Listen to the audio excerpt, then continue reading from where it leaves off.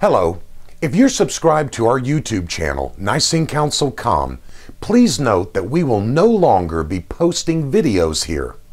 If you are a subscriber, then I'm going to ask you to go to www.againsttheworld.tv and subscribe there.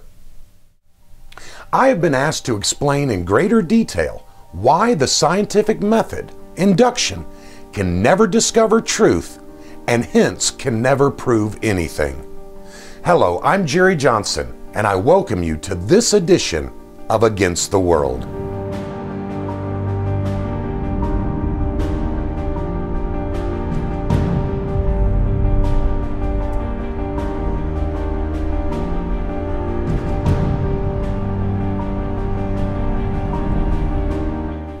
This episode of Against the World is being brought to you by some of our dear friends from the land down under, the Ridley family.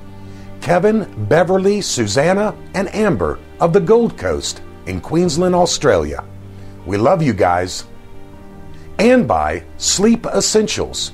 Before you purchase a new mattress, visit Lee Carter and watch his free videos at www.mattresseducation.com net. Induction, as it functions in logic and help develop the so called scientific laws, refers to a process of using sensory perception by observing an object or event and drawing a conclusion. However, contrary to the many pundits and self styled defenders of the modern day scientific method, who reference these conclusions as proof for whatever they're attempting to establish, all arguments based on induction are fallacious and unprovable. Now, this does not mean that induction is not helpful, nor does it mean that we should abandon induction in medicine, astrophysics, or any field. What it should mean, however, is that we understand the limits of the scientific method, something modern day pundits cannot seem to grasp.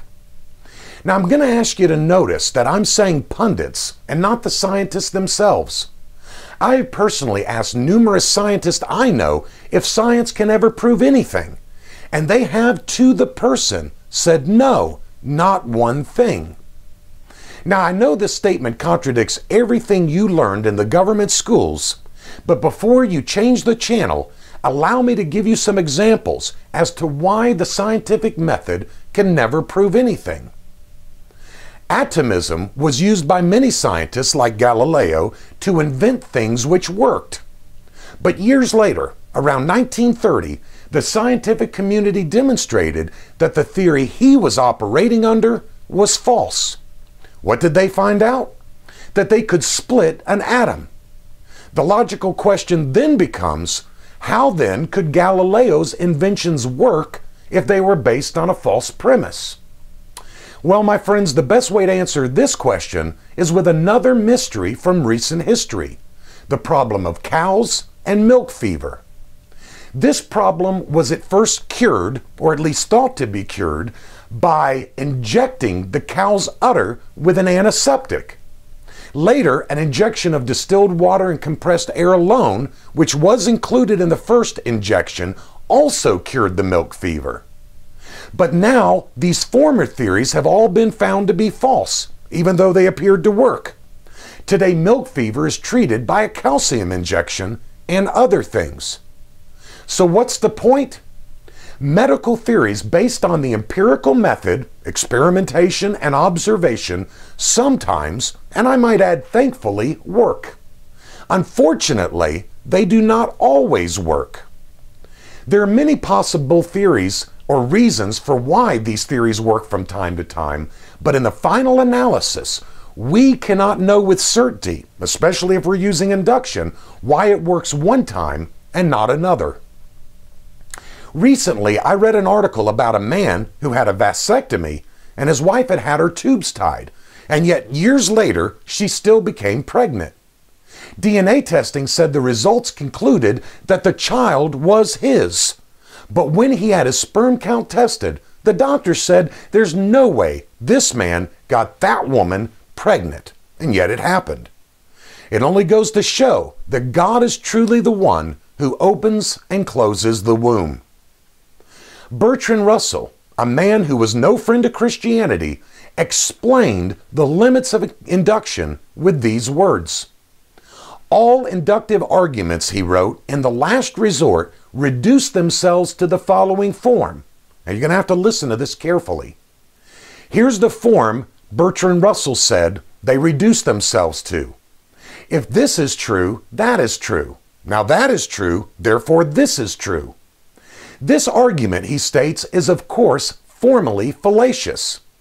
Suppose I were to say, if bread is a stone and stones are nourishing, then this bread will nourish me. Now, this bread does nourish me, therefore it is a stone, and stones are nourishing. Russell said if I were to advance such an argument, I might certainly be thought foolish. Yet it would not be fundamentally different from the argument upon which all scientific laws are based.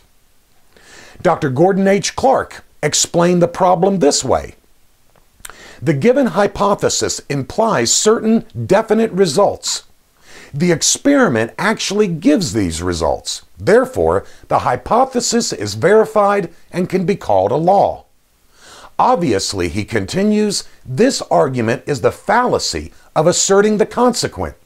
And since all verifications must commit this fallacy, it follows that no law or hypothesis can ever be logically demonstrated.